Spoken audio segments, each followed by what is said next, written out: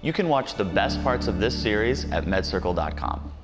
What is not dementia? Yeah, and this is important because as frightening as dementia is, as you wrote that down when you were a child, mm-hmm. people worry about it. I worry about it. You worry about it. I, I got to be honest. If I lose my keys, I say to myself, "Oh my God!" Like, don't you though? Do I have a cognitive problem? Right? I get so, it. So people worry about it. So it's important to understand what is not dementia, even for family members that are noticing something in their mom, dad, or spouse, or or family member for that matter. What is not dementia? Okay, so normal aging. Normally, as we age, we start to have some difficulties with memory. Our brain is not as efficient in the memory department, so we are going to forget things.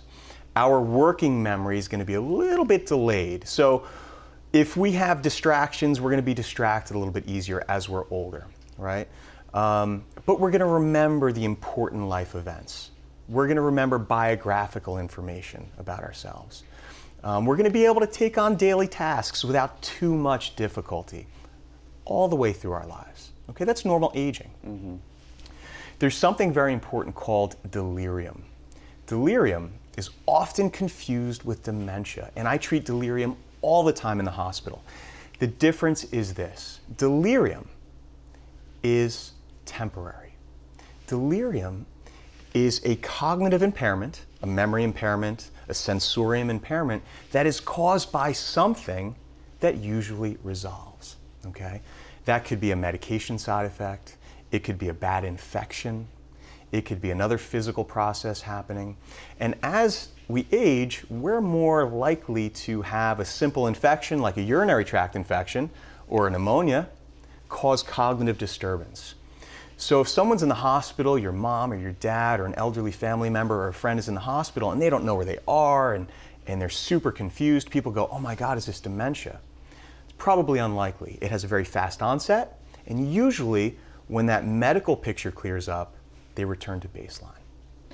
So there is a cure for delirium. Yeah, we can use the word cure. As okay. your body sort of regains itself, you get back to baseline.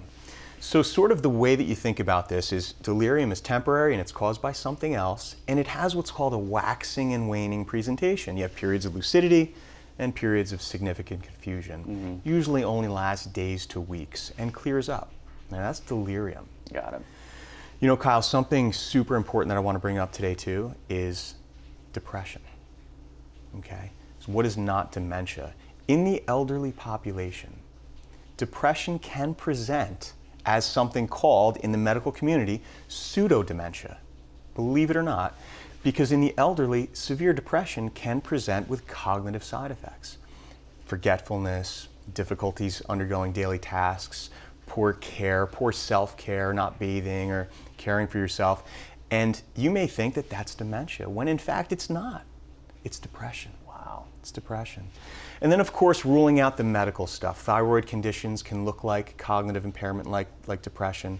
Um, vitamin deficiencies in certain circumstances can present as a dementia, like B vitamin deficiencies, folate, thiamine, uh, that sort of thing can present. So we have to rule all of that out. So that is, those are the not dementia. I'm really glad you brought that up. Yeah. That that is, first of all, I didn't even know that dementia was the umbrella term. Yep. I thought they were two separate things, yep. dementia and Alzheimer's. Um, and I had no idea about the depression thing. Yeah. That's going to open a lot of people's eyes. It's a big deal. Thanks for watching. Your next step is to go to medcircle.com and finish watching this series. There you can also access other series and get actionable advice and simple explanations. Continue your mental health journey at medcircle.com and I'll see you there.